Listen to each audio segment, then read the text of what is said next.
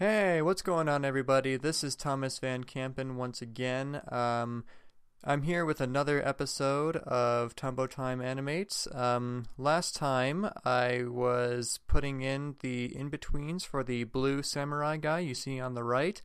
Um, I've jumped ahead a little bit, just like I said I would. Um, now uh, they both have all the in betweens and now I'm going to be overlaying the character designs, which are basically just going to be generic samurai dudes. So they're going to have uh, their long draping clothing, their katanas, and stuff like that.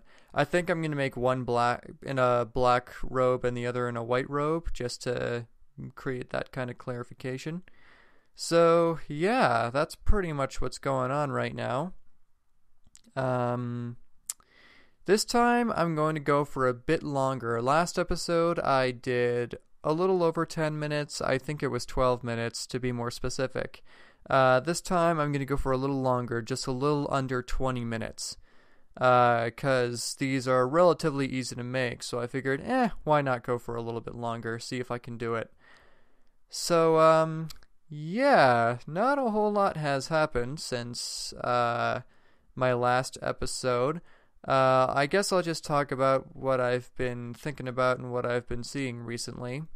Um, while I was animating this, I was listening to the Nostalgia Critics Where's the Fair Use video. For those of you who don't know, the Nostalgia Critic is an internet reviewer. He d- makes very funny videos, very informative videos that are well acted and well sketched, very clever writing. He's a great guy.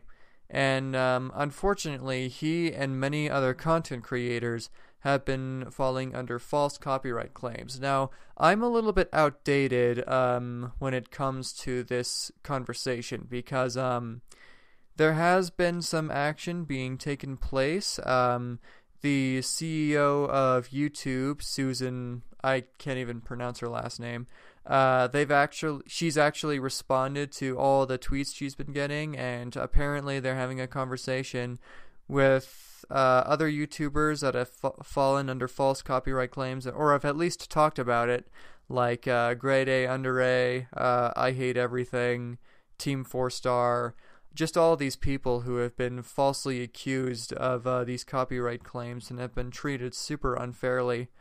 Um, to be more specific about the issue at hand, basically what's going on is uh, these channels who are within fair use of using copyrighted work, which means they're only uh, showing bits of copyrighted work for transformative purposes.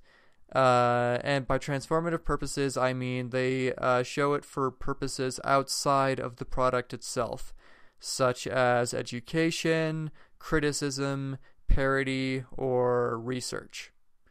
Um, so yeah, uh, for whatever reason, they're being punished unfairly.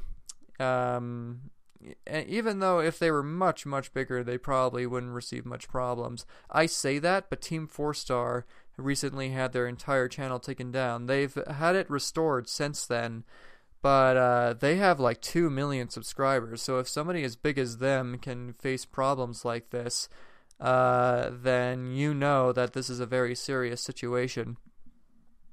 But the worst part about this is is that there's no repercussions for people making false copyright claims. Uh, not only do um, not only do companies have to not uh, compensate the creator for any false claims that they've made, but they but if they ever monetized the, uh, the creator's video at any point, and the claim has proven to be false, they still get to keep the money that's uh, been made off of the video, which is just freaking terrible, man. Like, again, I'm a little bit outdated. It's been a couple of days since this conversation took place, and I know that some action and some uh, things have gone noticed since then. So, um, yeah, I'm just stating what I know at the time. Uh, I believe action is being taken place, and thank God for that because some of my favorite creators on the internet are being uh, abused, or at least they have been abused. So, yeah. Interesting thing about this whole situation, though, is that uh, some creators, like I Hate Everything, I uh, mentioned him earlier, they've actually been getting more exposure than ever because of this controversy. Uh, because, you know, he's one of the most outspoken uh, people about this issue because he is one of the most frequent victims of these false copyright claims taking place. And because of that, he's been getting exposure from the Nostalgia Critic, from Team 4 Star, from Grade A Under A, and all of those guys either have a long history, like over eight years of being on the internet, or they have at least a million subscribers. They, they have one of the two, maybe both.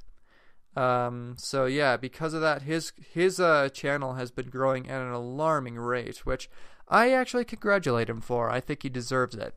Um, every other day it's like 20,000 subscribers or something. Maybe that's an exaggeration. I don't I've never actually looked at the statistics, but point being, he's been uh, getting very noticed and I'm actually thankful for that.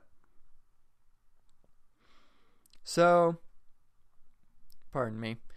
Um yeah, what else is there to talk about? Oh, the Oscars, that's pretty topical. Leonardo DiCaprio finally won an Oscar. I mean, the internet's been teasing him about it for, uh, God, I don't even know how long. Just a really long time. Uh, he had he's been nominated so many times since then. He's done so many outstanding roles, like um, he played uh, a disabled uh, kid in What's Eating Gilbert Grape. He did that incredibly well. Uh, he's in the where does Titanic place now in highest grossing movie of all time? Are they like third place? I think Avatar is second now, and I think I'm not entirely factual about this. Um, I think Star Wars: The Force Awakens uh, beat Avatar recently.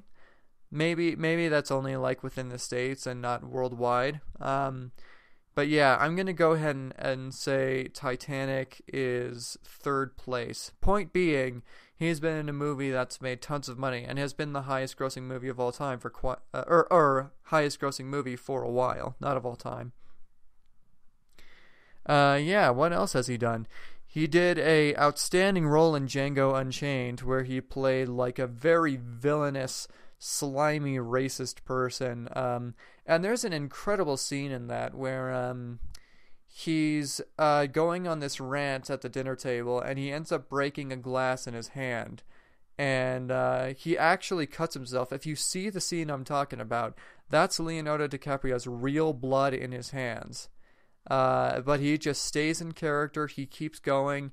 And uh, there's actually a story about how when that happened quentin tarantino uh, uh, stopped looking from behind the camera lens and like gave this like really concerned look when that happened. But Leo just kept cool, just kept doing it. And uh, yeah, so Leo has done all sorts of incredible things. And now in The Revenant, apparently this has been uh, Leonardo DiCaprio's um, diff- most difficult role, according to him. And uh, yeah. Um, and you know what's interesting about him winning is that you'd think I, I personally thought he was going to mention something about um, how long it's taken him for it to reach that far. Maybe not. Maybe that would be like a little selfish or something, and maybe he just wanted to, you know, keep composure and stuff like that, which I understand. I don't think anybody, I wouldn't uh, blame him for bringing that up at least, but regardless. Um, he actually used his award winning for uh, commentary on climate change, which I think is pretty good on him. Uh, it's good on him to bring to light things that are important to him um, and use that opportunity to address uh, issues bigger than himself. A lot of people would probably disagree with him on that, um, but he was speaking from personal experience, of course, shooting The Revenant. And um, yeah, so that's pretty interesting. Um, I one thing I will miss is that um, I kind of miss uh, all the jokes being made about him on the internet. Like those memes are freaking hilarious. My absolute favorite is the one where it's a photoshopped picture of him in The Great Gatsby. You know that famous picture where uh, he's holding up a glass of wine?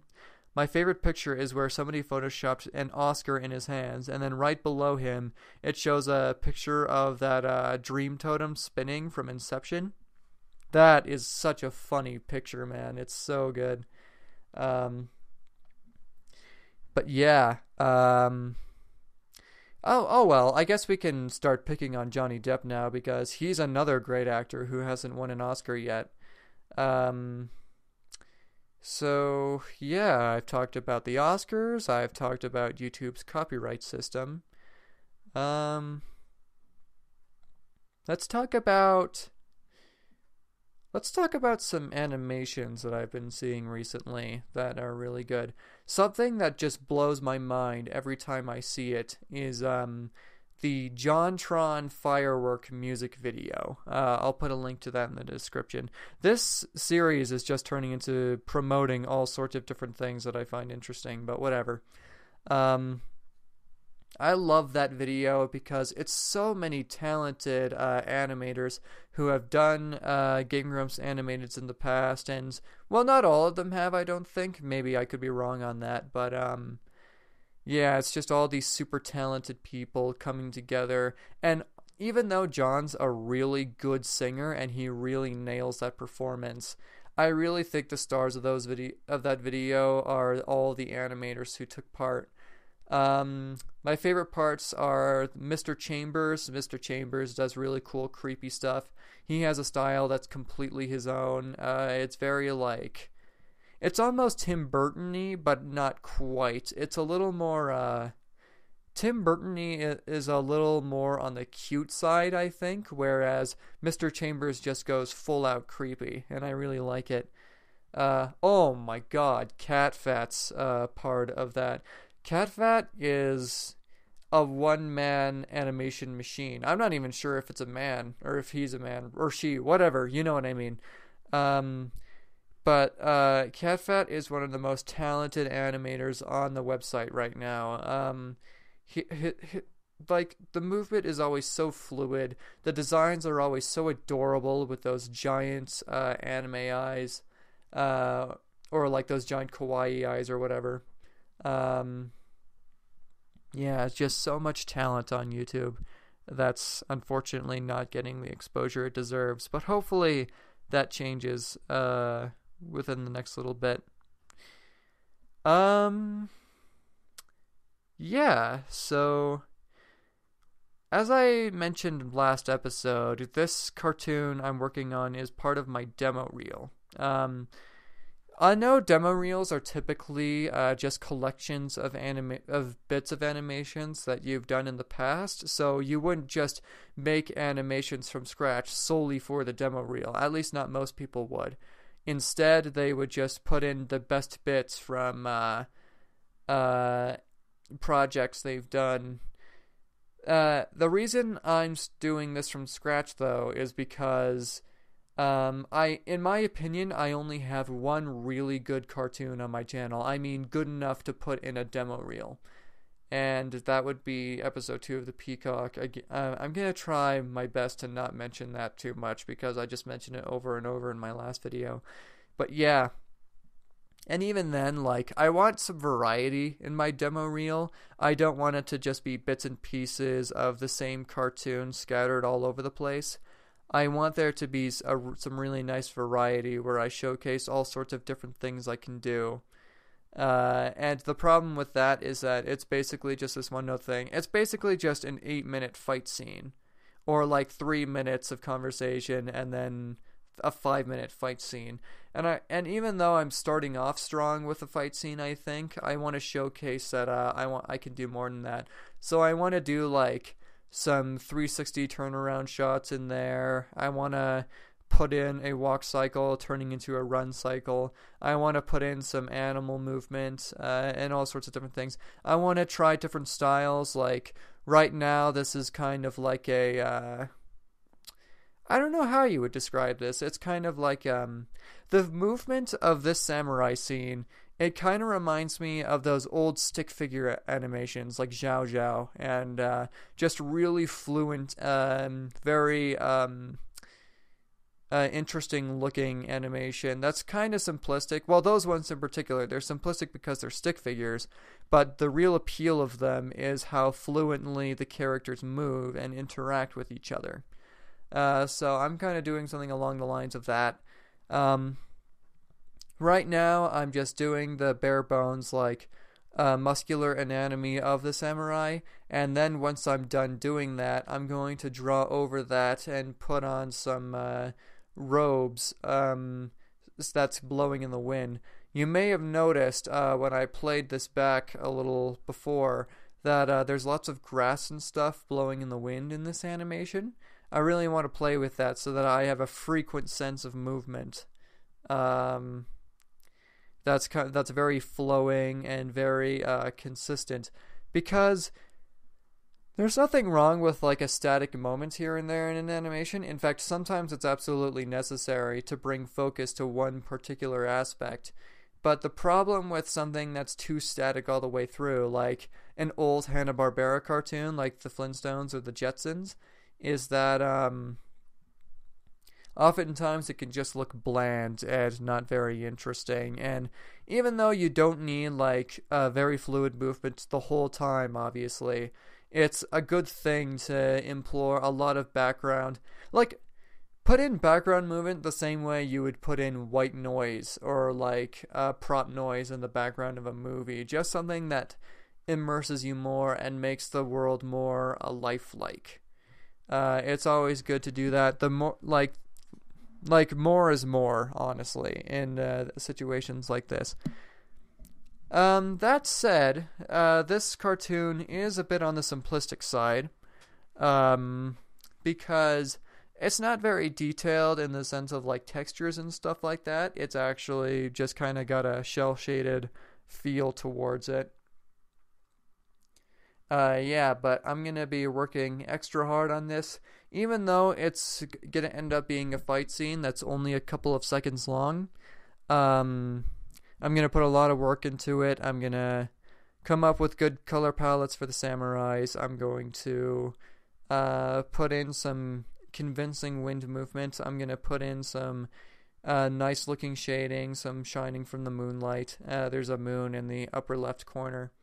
Um, so yeah, I'm gonna try my best to make this look as appealing as possible because that's the thing about demo reels. You gotta put in the best of the best. You gotta showcase the best of your abilities. Um, I think that's all the time I'm going to use up. So thank you guys for joining me once again. Um, I'm sorry if I sounded a little nasally in this. I kind of have a cold, but regardless, I hope you'll join me for the next video. Okay, see you later.